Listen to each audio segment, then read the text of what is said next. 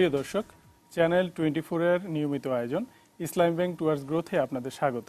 এই অনুষ্ঠানে আমরা কথা বলি সমসাময়িক অর্থনীতি ও ব্যবসা বাণিজ্যের নানা বিষয় নিয়ে। আপনাদের সাথে আছে আমি ফারুক মেহেদি আর আজকের এই অনুষ্ঠানে অতিথি হিসেবে উপস্থিত রয়েছেন পূবালী ব্যাংকের চেয়ারম্যান শিল্প উদ্যোক্তা ও সাবেক সংসদ সদস্য জনাব হাফিজ আহমেদ মজুমদার। হাফিজ আহমেদ মজুমদার আপনাকে স্বাগত আমাদের অনুষ্ঠানে। দর্শক আজকে আমরা মূলত ব্যবসা বাণিজ্য ও ব্যাংকিং খাতের নানা বিষয় নিয়ে কথা বলব। তার আগে চলুন আজকের অতিথিকে নিয়ে তৈরি একটি প্রতিবেদন দেখে নিই।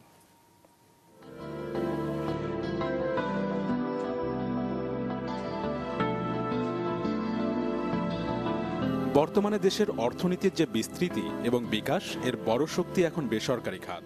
সরকারের পাশাপাশি বেসরকারি খাতই অর্থনৈতিক প্রবৃদ্ধির চাকা সচল রাখা, কর্মসংস্থানের ক্ষেত্র তৈরি করা এবং বৈদেশিক মুদ্রা আয়ে গুরুত্বপূর্ণ ভূমিকা রাখছে।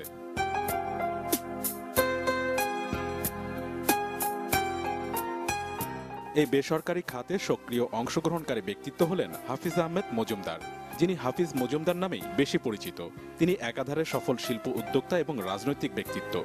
দায়িত্ব পালন করেছেন সিলেট পাঁচ আসনের সংসদ সদস্য হিসেবে।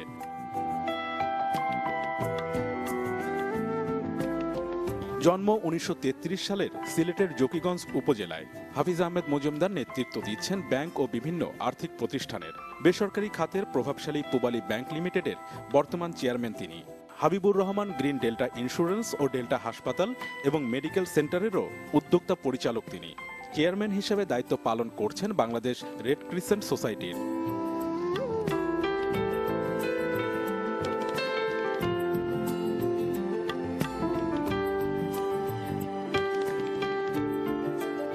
পোশাক শিল্পের স্বনামধন্য উদ্যোক্তা হিসেবেও পরিচিত। পোশাক রপ্তানি এবং এর মাধ্যমে দেশে বৈদেশিক মুদ্রার প্রবাহ বাড়াতেও নিরলস কাজ করে যাচ্ছেন। আছেন চা শিল্পের সাথেও। নিজে চায়ের জেলা সিলেটের অধিবাসী হিসেবে চা বাগান করেছেন এবং এর মাধ্যমেও দেশে বৈদেশিক আয়ে অবদান রেখে চলেছেন। এছাড়া নানান সামাজিক উন্নয়নে কাজ করছেন এই রাজনৈতিক নেতা। স্থানীয় জনগণের উন্নয়নে অন্তত দুই ডজন স্কুল কলেজ সহ নানা হাসপাতাল, শিক্ষা, সাংস্কৃতিক ও সামাজিক প্রতিষ্ঠান গড়েছেন। এছাড়াও সিলেটের পরিচিত হাফিজ মজুমদার শিক্ষা ট্রাস্টেরও প্রতিষ্ঠাতা তিনি।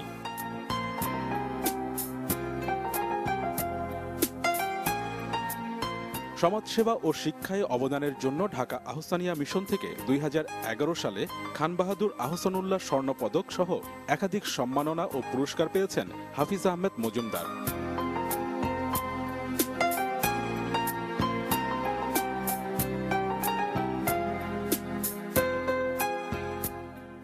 তিনি মনে করেন, দ্রুত অগ্রসরমান অর্থনীতির দেশ বাংলাদেশ।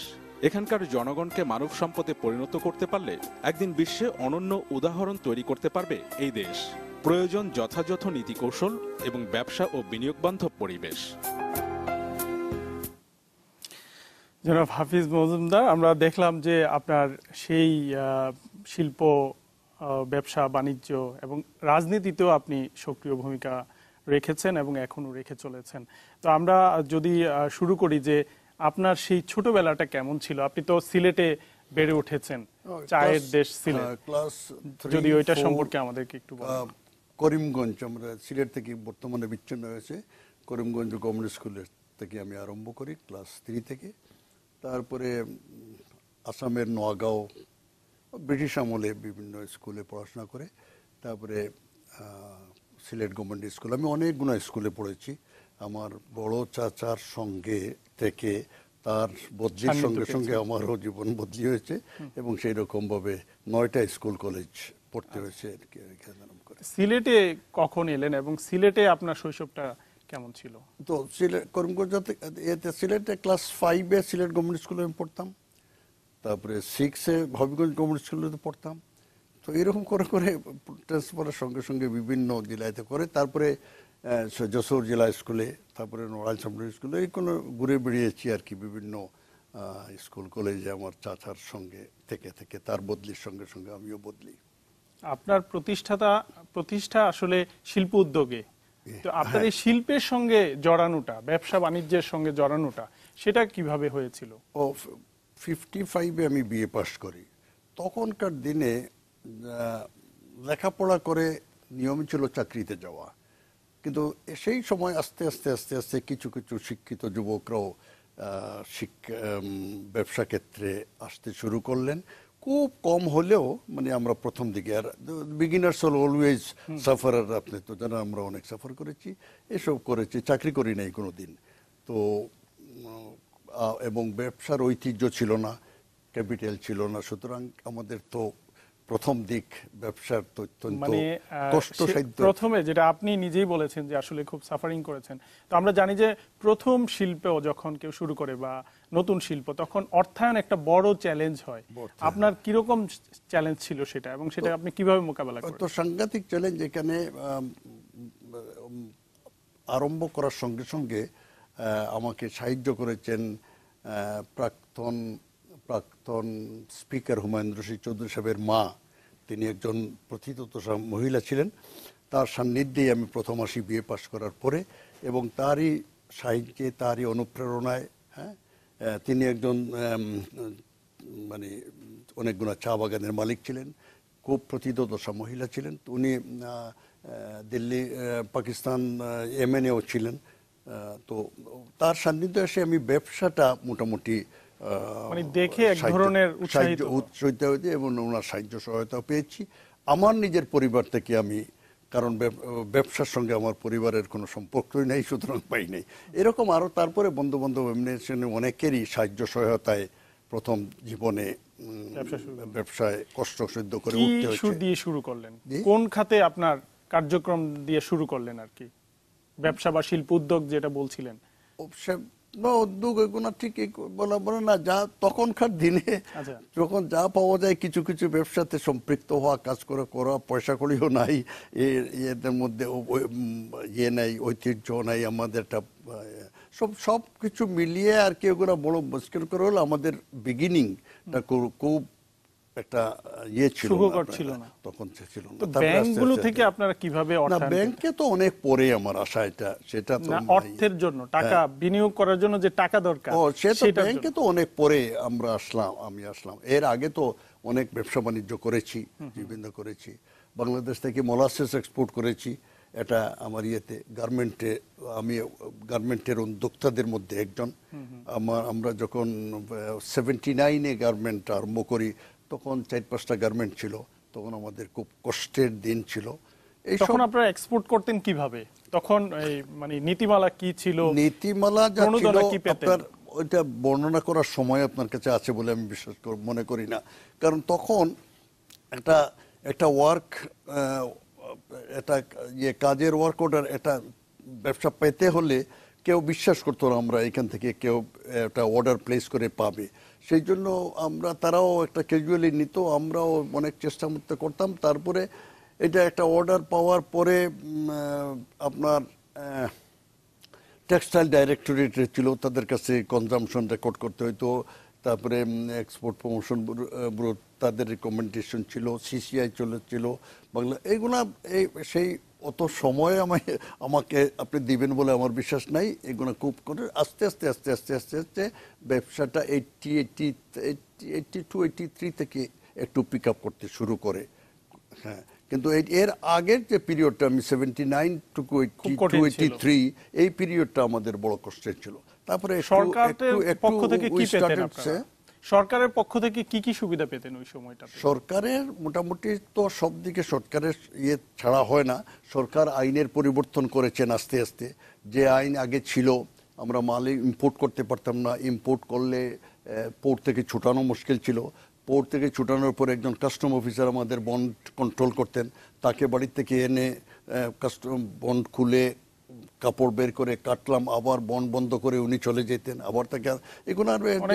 কাহিনী খুব কঠিন জিনিস। আস্তে আস্তে গভর্নমেন্ট এটা রিল্যাক্স করেছেন করে করে করে করে প্রয়োজনের এদিকে প্রয়োজন গভর্নমেন্টেরও ধারণা ছিল না আমাদের কারও ধারণা ছিল না যে গার্মেন্ট সেক্টরের এত উন্নতি হইতে পারে এত ইয়ে এখন কি মনে হয়? ওই সময় আপনাদের গার্মেন্টস যে চ্যালেঞ্জের মধ্যে আপনারা এগিয়েছিলেন আর এখনকার যে সমৃদ্ধি, এই দুটার মধ্যে আপনি কীভাবে মূল্যায়ন করেন? আকাশ আর পাতাল, সেটার সঙ্গে তুলনাই হয় না।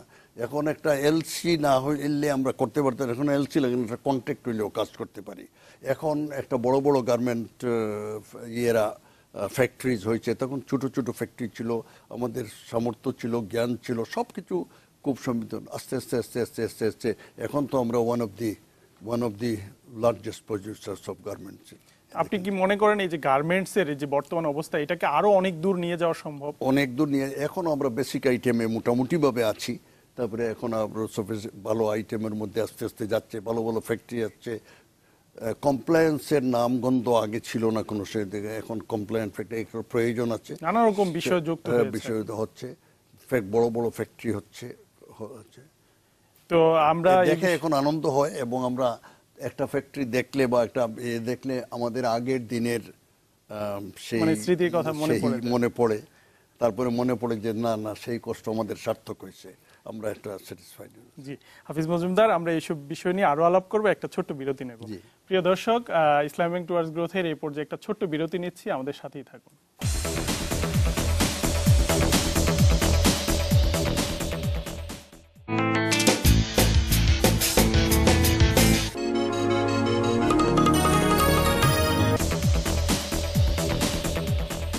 বিরতির পর আবার স্বাগত দেখছেন ইসলাম ব্যাংক টুয়ার্স গ্রোথ। সাথে আছেন পুবালী ব্যাংকের চেয়ারম্যান, শিল্প উদ্যোক্তা ও সাবেক সংসদ সদস্য হাফিজ আহমেদ মজুমদার। যারা মজুমদার, আমরা কথা বলছিলাম এই যে বাংলাদেশের ব্যবসা, বাণিজ্য, শিল্প ইত্যাদি বিষয় নিয়ে। তো আপনি বলছিলেন যে আপনার চা শিল্পের সঙ্গে আপনার সম্পৃক্ততা আছে। তো আপনি চা শিল্পের সঙ্গে কীভাবে জড়িয়েছিলেন চাষবাসের সম্পৃক্ত আমি খুব বেশি দিনের নয় নব্বই ইংরেজি থেকে আমি চাষবাসকে ডাইরেক্টলি সিলেট বাড়ি যখন তো ইনডাইরেক্ট সম্পর্ক তো আছেই ডাইরেক্টলি আমি সম্পৃক্ত হই এটা চা বাগান আমি কিনি এটা হলো নব্বই দশকের প্রথম দিকে তখন সরাসরি জড়িত হই চা শিল্পের সঙ্গে আর কি। তখনকার গল্পটা যদি বলেন যে চা শিল্পটা তখন মানে আমাদের দেশের অর্থনীতিতে কি ভূমিকা রাখতো? না চা শিল্প মোটামুটিভাবে চা শিল্প আমাদের প্রোডাকশন খুব একটা বেশি নয়। কিন্তু আমরা পাকিস্তান আমলে থেকে যা প্রোডাকশন করতাম, তার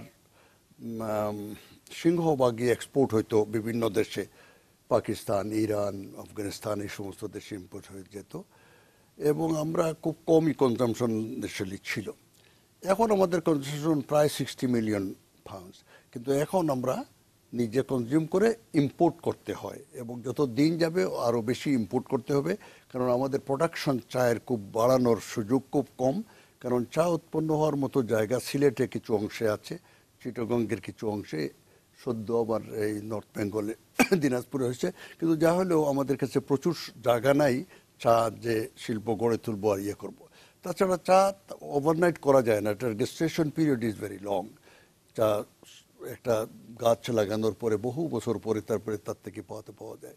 সে যাই হোক আমাদের দেশের অর্থনৈতিক অবস্থা মানুষ স্বাবলম্বী হচ্ছে এই সেই জন্য চায়ের কনজামশন বাড়ছে দিনে দিনে আরও বাড়বে এবং আমরা একটা একটা ইম্পোর্টিং কান্ট্রি হিসাবে আবির্ভূত হব খুব বেশি দিন না। আমরা তো আসলে এক্সপোর্টিং কান্ট্রি ছিলাম চায়ের ক্ষেত্রে। এক্সপোর্টিং ছিল আমরা নিজে কনজিউম করতে পারতাম না বলে এক্সপোর্ট করতাম। এখন আমাদের এখন স্থানীয় বাজারে চাহিদা। স্বাবলম্বী হয় মিডল ক্লাস পাওয়ারফুল একটা বিরাট মিডল ক্লাসের গ্রোথ হয়েছে যারপরে মানুষ সচ্ছল হয়েছে ইকোনমিক্যালি সেই জন্য চা ব্যবহার করা তো আস্তে আস্তে ইয়ে এককালে ব্রিটিশ আমলে ইন্ডিয়ান চা বোর্ড চা খাওয়ানোর জন্য ইয়ে করতো বিনা পয়সায় চা খাওয়াইতো মানুষকে।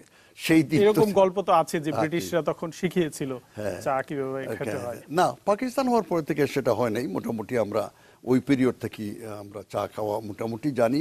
ওইখানে শেখানো হল প্রয়োজন হয় নাই সিলেটে বিশেষ করে। তো এখন আস্তে আস্তে কনজামশন দিন দিন দিন দিন বেড়েতে কেন গেলেই মানুষ একটু চা খা এক কাপ চা খাওয়ার জন্য চা ছাড়া তো আসলে এখন আর ইয়ে হয় না। এখন আবার ইম্পোর্ট এখন রেগুলার ইম্পোর্ট করতে হচ্ছে চা। তো আমাদের এত চাহিদা তো এই বাজার ধরার জন্য আমাদের তো উৎপাদন বাড়ানো দরকার। উৎপাদন আমাদের প্রোডাক্টিভিটি তো কমে উৎপাদন বাড়াবার সুযোগ আমাদের খুব কম। প্রথমত চায়ের কোয়ালিটি বাগানের কোয়ালিটিও কি হ্যাঁ, খারাপ হয়ে গিয়েছে? ও হ্যাঁ। কোয়ালিটি আমাদের চায়ের কোয়ালিটি একবারে উন্নত মানের কোয়ালিটি না, একবারে নিম্ন না, মধ্য কোয়ালিটি আছে। এই কোয়ালিটি আমি ইচ্ছা করলে করতে পারব না। কোয়ালিটির লোকে সয়েল কন্ডিশন আছে কোয়ালিটির সঙ্গে অনেক অনেক ইয়ে আছে সেগুলো ইচ্ছা হয় কিন্তু এগ্রিকালচার ক্রপ তো আপনি জানেনই।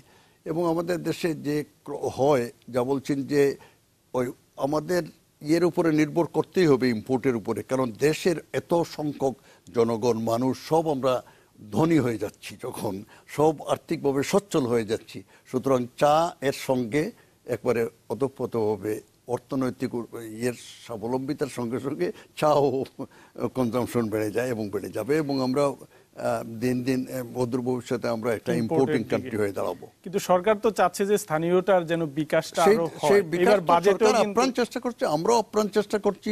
আমাদের যা ল্যান্ড আছে চায়ের জন্য আমরা প্রায় প্রতি বছর এক্সপেনশন করে করে করে ফেলেছি। নতুন একটা এরিয়া ডেভেলপ হয়েছে নর্থ বেঙ্গলের দিকে ইয়েতে। কিন্তু তারপরেও আমাদের এই বিরাট জনগোষ্ঠীকে বিরাট অর্থনৈতিকভাবে স্বাবলম্বী জনগোষ্ঠীকে আমরা তৈরি করে চা খাওয়াতে পারব না। কিন্তু এক্সিস্টিং যেগুলো আছে সেগুলোর দিকে আপনাদের কেমন মনোযোগ? এইটা আপনারা নিজে একজন উদ্যোক্তা। এখন- এখন আগের যে চা বাগানগুলো ছিল এখন অনেক উন্নত হয়ে গেছে সেগুলো অনেক ভালো। প্রোডাকশন পার হেক্টর আগের চেয়ে অনেক বেশি বেড়েছে দিন দিন দিন দিন বাড়ছে। ভালো হচ্ছে এগুলো খারাপ হচ্ছে না। কিন্তু তারপরেও ইচ্ছা করলেও আপনি প্রচুর টাকা খরচ করলে ওভারনাইট কিছু করা যায় না। এটার অনেক সময়ের প্রয়োজন। একটা ছোট চেরা গাছ লাগিয়ে তার থেকে চা পেতে আপনার অনেক সময়ের প্রয়োজন আছে। অনেক ইয়ে হয়। তারপরে ওয়েদার কন্ডিশন আজকাল বড় এরিয়াটিক হয়ে গেছে। এটা তো এগ্রিকালচারের কপ বৃষ্টি পান ইয়ের উপরে নির্ভর করে এক এক সময় খরা এক এক সময় অতিবৃষ্টি এইসব বিভিন্ন ইয়ে হয়ে আমাদের ইয়ে প্রভাবিত প্রভাবান্বিত হচ্ছে। কিন্তু তারপরেও আমরা মোটামুটিভাবে অনেক চাষ চা বাগানগুলো অনেক ভালো হয়েছে বর্তমানে। আচ্ছা এবার আমরা একটু আর্থিক খাতের দিকে যাই যেহেতু আপনি একটা ব্যাংকের চেয়ারম্যান আর্থিক খাতের সাথে খুবই ওতপ্রোতভাবে জড়িত। তো বর্তমানে দেশে আর্থিক খাতের ব্যবসা বাণিজ্য মানে আর্থিক খাতের ব্যবসা কেমন চলছে যদি বলতেন? আসলে ব্যবসার সঙ্গে অর্থের সম্পর্ক একবারে ওতপ্রোত। এবং এই দেশে যখন ব্যবসা বাণিজ্য বাড়ছে সুতরাং অর্থের প্রয়োজনও বাড়ছে এবং সেই সঙ্গে ব্যাংক বিমা ইন্স্যুরেন্স কোম্পানি গুণা বিশ্বের অর্থ গুণা সবগুলা চলে আসছে। দিনে দিনে এত বেশি উন্নত হচ্ছে যে দেশ যেমন উন্নত হচ্ছে, এই দেশের অর্থনৈতিক উন্নতি এমন হয়েছে যে এখন হঠাৎ আপনি এখন দেশে আছেন বুঝবেন না। দুই বছর বিদেশে থেকে এসে যদি বাংলাদেশে প্রবেশ করে তাহলে পরিবর্তনটা আপনার চোখে পড়বে। বাংলাদেশ এটা বিরাট সম্ভাবনাময় দেশ হিসাবে আমাদের সামনে এখন আবির্ভূত হয়েছে। আমরা যখন ছোট ছিলাম তখন আমাদের ভবিষ্যৎ দেখিনি এই অন্ধকার দেখতাম। আমাদের সিলেটের অনেক ভাইরা তো শুধু বিলাতে যাওয়ারই চিন্তা ভাবনা করতো যে এই দেশে কিছু হবে না। কিন্তু এই দেশের এখন শিক্ষিত ছেলেরা বিরাট সম্ভাবনা দেখছে এখানে। এবং শুধু বিদেশে যারা লেখাপড়া করছে তারাও এই দেশে ফিরে এসে যেমন এখানে কিছু করবে গিয়ে করবে এরকম একটা অত্যন্ত বিরাট মানে অর্থের যে হ্যাঁ, প্রবাহ এটা বেড়ে গিয়েছে এবং এটা- ব্যবসার সঙ্গে সঙ্গে তো প্রবাহ বাড়বেই যেগুলো সব দিকে হচ্ছে। এবং ব্যাংক অনেক ব্যাংক আমাদের প্রায় দেশি বিদেশি সব মিলে যা প্রায় ষাটটার মতো ব্যাংক এখানে সেটাই বলছিলাম যে হ্যাঁ। অনেকগুলো ব্যাংক হয়েছে নতুন ব্যাংক যোগ হয়েছে পুরনোদের সাথে। তো এই প্রতিযোগিতাটা পুরনো ব্যাংকগুলো যে এই যে চ্যালেঞ্জ প্রতিযোগিতা সেটা মোকাবেলা করতে পারছে হ্যাঁ পুরো নতুন একবারে সদ্য যারা আসছে নয়টা ব্যাংক একেবারে সদ্য আবির্ভাব হয়েছে তারা একটু খারাপ সময় আসছে তাদের হয়তো একটু কষ্ট হচ্ছে কিন্তু তারপরে আমরা যারা আছি আমাদের অবস্থা খুবই ভালো। এবং আগে আইন কানুনের নব্বইয়ের দশকের আগে আমাদের ব্যাংকিং ব্যবস্থা খুব একটা শৃঙ্খলাবদ্ধ ছিল না। নব্বইয়ের পরের থেকে এটা একটা ইন্টারন্যাশনাল স্ট্যান্ডার্ডে আমাদের ব্যাংকিং হয়েছে। আমরা vessel one, vessel two, vessel three এই সমস্ত পরিপালন করে এগুলো এই এই সমস্ত এইটা ব্য- ব্যাংক এমন এক জিনিস, আপনি ইচ্ছা মতো করে ফেললে হবে না। তার সঙ্গে তার সমস্ত পৃথিবীর- করতে- মানুষ আপনাকে বিশ্বাস করতে হবে। পৃথিবীর অন্য ব্যাংক বিশ্বাস করতে হবে। মন মানুষ বিশ্বাস করে সুতরাং এটা এমন একটি প্রতিষ্ঠান যে প্রতিষ্ঠানে আপনার একেবারে সব দিকে কমপ্লায়েন্ট না হওয়া পর্যন্ত আপনার সঙ্গে কেউ ব্যবসা করবে না। তাছাড়া আপনি জনগণের পুঁজি নিয়ে খাটাচ্ছেন সে তাদেরও আস্থা থাকতে হবে। এটা একটা আস্থার জায়গা। আপনি আপনার স্ত্রীর সঙ্গে আপনার প্রবলেম ফাইন্যান্সিয়াল প্রবলেম ডিসকাস না করবেন কিন্তু ব্যাংক ম্যানেজারের কাছে করবেন। এটা একটা এটা এর অন্য নাম যদি আমি দিতাম যে আস্থা সংস্থা তাহলে বোধহয় ভালো হইতো। এটা একটা ইয়ে তো নতুন ব্যাংকগুলো তো আসলে শুরু থেকে তথ্য প্রযুক্তি বলেন সেবার সেবার যে বৈচিত্র্য এইসব বিষয় খুবই এগিয়ে আছে। না, নতুন পুরনো ব্যাংকগুলো তাদের সাথে পেরে উঠতে পারছে না নতুন পুরানো সবাই ওই নতুনরা এই সমস্ত প্রযুক্তি গ্রহণ করা তাদের জন্য কঠিন। কিন্তু আমাদের জন্য আমরা পুরনো যারা আছে তারা এই সমস্ত নতুন নতুন প্রযুক্তি গ্রহণ করার সক্ষমতা আমাদের তাদের চেয়ে অনেক বেশি। কারণ এগুলো সমস্ত it cost money in every higher তো আমাদের যে যে সামর্থ্য তাদের চেয়ে অনেক বেশি। সুতরাং আমরা মডার্ন গ্যাজেটস যেগুলো প্রয়োজন ব্যাংকের জন্য আমরা আগে নিতে পারি আর কি। আর তাছাড়া whole world has become a global village আপনি কোথায় কি হচ্ছে না হচ্ছে আজকাল আর দূরে যাওয়া হবে না। আপনার টেবিলে বসে সমস্ত সব আপনি পাচ্ছেন। এবং মানুষও দিন দিন তার চাহিদা ব্যাংকের আগে টাকা জমা দেওয়ার উঠানো ছিল। এখন তার ব্যাংক থেকে আরও বহু নানা রকম সেবা। বহু সেবা সে আশা করে। বহু ঘরে বসে ব্যাংকিং করতে চায়। হ্যাঁ ঘরে বসে তার একজনের কাছে টাকা পাঠাতে চায়। এরকম ভাবে সেই সেবাগুনা একেবারে উন্নত বিশ্বের যে কোনো দেশের মতো সেবা দিয়ে যেতে পারে অনেক পুরনো ব্যাংক খুবই ঐতিহ্যবাহী ব্যাংক এবং সারা বাংলাদেশের প্রত্যন্ত অঞ্চলে অনেক শাখা রয়েছে। হ্যাঁ। সেই জায়গাগুলোতে এই যে প্রযুক্তির যে ছোঁয়া সেটা কীভাবে আপনারা সম্প্রসারিত করেছেন? হ্যাঁ প্রযুক্তির ছোঁয়া আপনি আশ্চর্য হবেন। ঢাকা শহরে প্রযুক্তির ছোঁয়া যেরকম এখানে গ্রামেও ঠিক চলে গেছে প্রযুক্তির ছোঁয়া ঠিক সেই রকম। গ্রামে বসে একটি মহিলা ও সে তার মোবাইলের মাধ্যমে সে কাজ করতেছে। তারপরে সে টেলিভিশনে সে আস্ত এর সঙ্গে সম্পৃক্ত হয়ে গেছে। আগে আমাদের রুরাল এরিয়ার না যারা আমাদের অধিবাসীরা তারা আরবান এরিয়ার সঙ্গে শুধু কল্পনার জগৎ ছিল। এখন কল্পনার জগৎ নাই। সে ঘরে বসে তার সে সমস্ত পৃথিবীকে দেখছে। সুতরাং আগের প্রযুক্তি এত বেশি মানুষকে নিয়ে গেছে আর কি ইয়ে আমরা এই আলোচনা আবার ফিরবো একটা বিরতির পরে। প্রিয় দর্শক ইসলাম ব্যাংক টুয়ার্স গ্রোথের এই পর্যায়ে আরেকটা বিরতি নিচ্ছি আমাদের সাথেই থাকুন।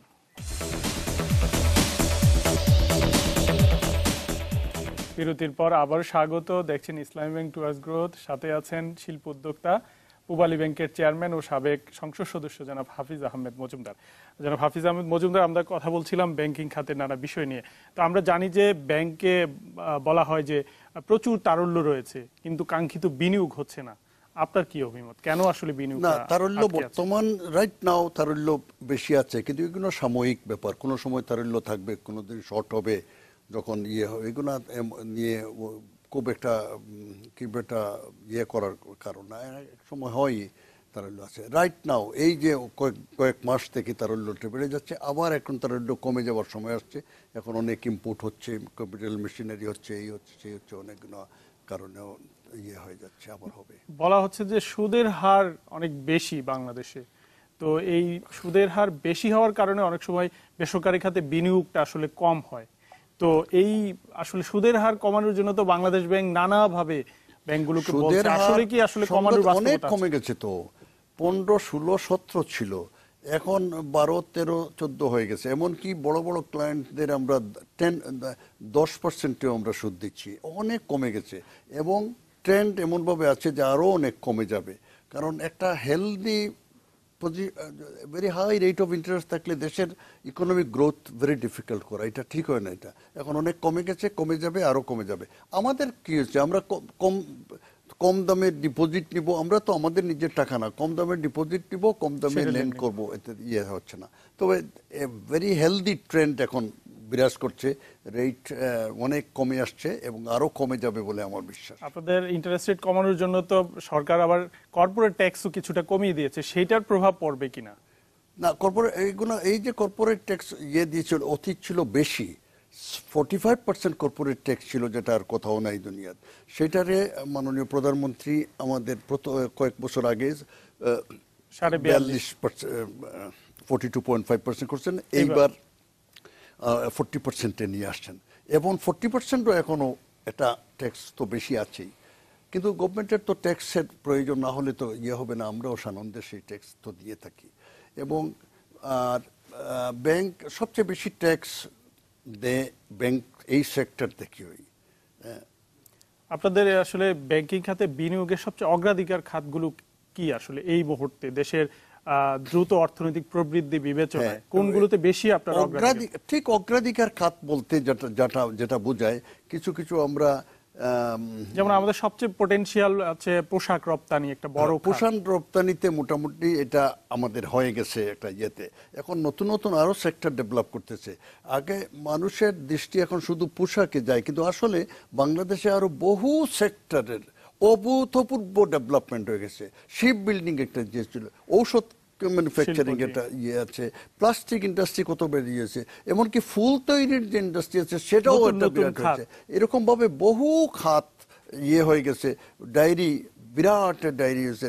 আমাদের মৎস্য খামার এত মৎস্য খামার হচ্ছে আগে বাজারে গিয়ে এটা ওয়ান টু পার্সেন্ট দেখা যেত খামারের মৎস্য আর বাকি সব হাওয়ার গোর এখন দেখবেন নাইনটি ফাইভ পার্সেন্ট হলো এই খামারের মৎস্য। এরকম সব বহু ডেভেলপমেন্ট হয়ে গেছে এবং যেখানে আমরা ব্যাংক থেকে আগে এটা ব্যাংকে এক মাসের মধ্যে এক পাঁচ ষাট কোটি একটা প্রপোজাল আসলে মনে করতাম বিরাট। এখন মাসের মধ্যে হাজার কোটি টাকার প্রপোজাল আসছে, দিয়ে যাচ্ছি যাচ্ছি, এটা হাজার হাজার লক্ষ কোটি টাকা হচ্ছে। সুতরাং ইকোনমির সাইজ জন্য বিরাট হয়ে আমরা এটা বাজেটের সাইজ থেকেও একটা ইন্ডিকেশন পাবেন আর কি। সেই বাজেট এখন তিন লক্ষ হাজার কোটি টাকার বাজেট ক্রস করে যাচ্ছে। কোথায় ছিল আমরা বিশ পঁচিশ হাজার কোটি টাকা ছিল কোথায় চলে গেছে এখানে? তো সুতরাং এটা মানে যত স্পিডি ডেভেলপমেন্ট গ্রোথ হচ্ছে এতে। ব্যাংকিং সেক্টরে আমরা টোয়েন্টি পার্সেন্ট গ্রোথ আজকে বহুদিন থেকে সব মেনটেন করে আসছে বহুদিন থেকে।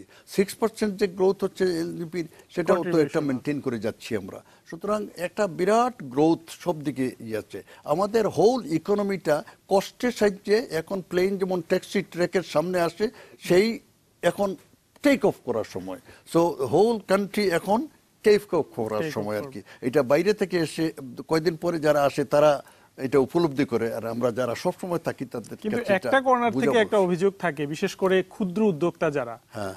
এসএমই করেন যারা বিশেষ করে নারী উদ্যোক্তারা তারা আসলে বলা হচ্ছে যে কোলোটারেলটা একটু কম তাদের উপর চাপ দিয়ে তাদেরকে ঋণ দেওয়াতে সহযোগিতা করা। কিন্তু বাস্তবতা হচ্ছে ব্যাংকগুলো অনেকটা এখনও আসলে রক্ষণশীল ভূমিকা এই ক্ষেত্রে। না এটা কারেক্ট নয়। বলে। এটা কারেক্ট নয়। এটা হলো প্রবলেম ইজ কালচারাল মেয়েরা যে আমাদের উদ্যোক্তা হইতে পারে না ব্যবসা করতে পারে না এটা not for access to finance এটা কালচারাল. ব্যাকগ্রাউন্ডের কি আমাদের বেরিয়ে আসছে অনেক এইটা তো বেরিয়ে আসতেছে এবং ব্যাংক যেগুলো একবার সাংঘাতিকভাবে নারী উদ্যোক্তাদের টাকা পয়সা প্রচুর এবং লো রেট অফ ইন্টারেস্টে দিয়ে দিয়ে যাচ্ছে এতে কোনো সন্দেহ নাই এবং উইমেন এম্পাওয়ারমেন্ট যথেষ্ট বেড়েছে দশ পনেরো বছর আগের হিসাবে এখন গিয়ে দেখবেন এটা বিরাট পরিবর্তন হয়ে গেছে। এটা বিজনেস ইয়েতে গেলে বহু মহিলা উদ্যোক্তা ভালো ভালো ব্যবসা করতেছে তা পাওয়া যায়। এবং এমন একটা জায়গায় আসছে, আমি বলছি যে প্লেনটা টেক অফ করার সময়। এখন দেখবেন একবারে এই খুব দুই বছর, তিন বছর, পাঁচ বছরের মধ্যে বিরাট একটা পরিবর্তন।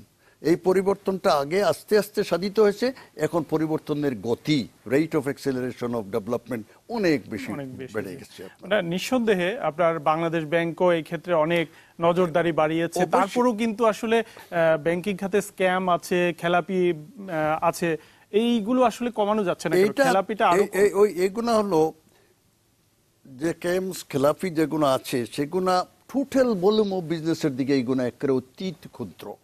দুই একটা স্ক্যাম হচ্ছে ইয়ে হচ্ছে, কিন্তু আপনি লক্ষ লক্ষ হাজার কোটি টাকার ট্রানজ্যাকশন যেখানে যেখানে এক হাজার, দুই হাজার, পাঁচ হাজার কোটি টাকা, সেটা কাম্য নয় বাট এটা হয়ে যায় আছে আপনি চলেন আপনার পকেট থেকে এ সময় পয়সা পড়ে যেতে পারে, চুরি নিয়ে যেতে পারে, কিন্তু তারপরেও তো আপনার গতি কি ইয়ে হবে? আমাদের গতি আরও আরও এই এই সময়তে আটকাচ্ছে না আরও বেশি।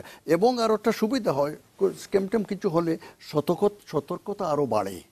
হ্যাঁ? এই যে কিছু কিছু যে আমাদের ঘটনা ঘটলো কতগুনা সেই ঘটনায় আমাদেরকে আরও সতর্ক করে দিয়েছে। রানা প্লাজার একটা ঘটনা দুর্ঘটনা এটা কত দুঃখজনক। কিন্তু এই রানা প্লাজার আরেকটা সাইড আছে। এই রানা প্লাজা এই দেশের ইয়েকে হোল বিজনেস গার্মেন্ট সেক্টর ইয়েকে অনেক উপরে নিয়ে গেছে।